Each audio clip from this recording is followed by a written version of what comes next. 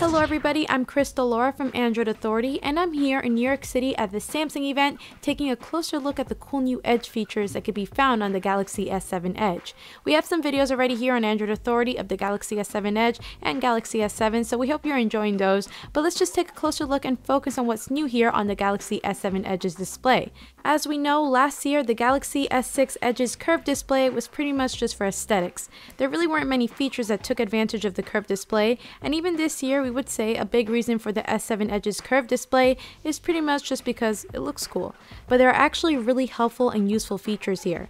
Samsung said they recognize that the majority of users use or try to use our phones one-handed, and it's important to access key features while multitasking, for example while you're drinking some coffee and checking the news. And so here on the Galaxy S7 Edge, when you're either on the home screen or the lock screen, you can swipe on one of the sides of the curved screen to bring up some Edge features.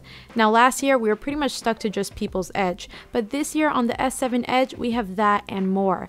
As you can see, we have a little page indicator down here because there are a lot of pages of features we can swipe through.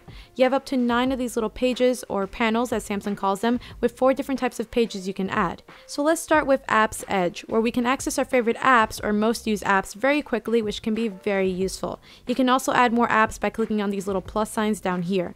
This could save some time or even promote less cluttered home screens, especially since you can add up to 10 apps here, which is very nice.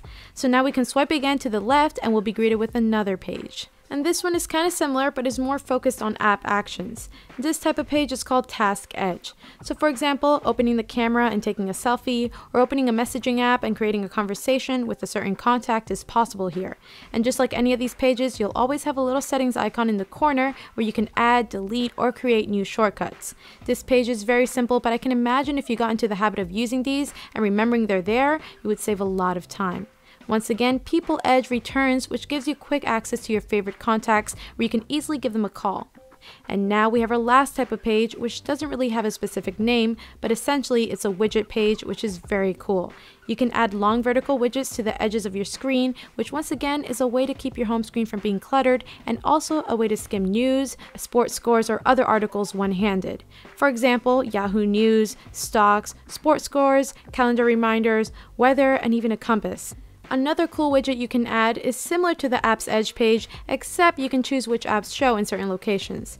Of course, you can choose to rearrange these panels. So perhaps if you don't want Apps Edge to be on panel 1, you can easily move it to page 4.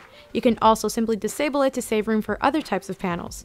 Now when you're within settings for these pages, you can dive a little deeper and click on Edge panel handle settings. And this is where you can choose if you would like these shortcuts to be accessible via the left curve or right curve, and even the exact position from where it pulls out.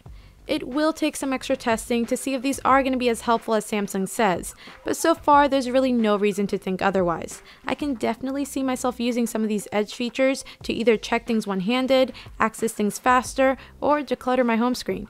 But what do you guys think of these new Edge features on the Galaxy S7 Edge? Leave a comment below and stay tuned here at Android Authority for more coverage on the Galaxy S7 and S7 Edge, because we are your source for all things Android.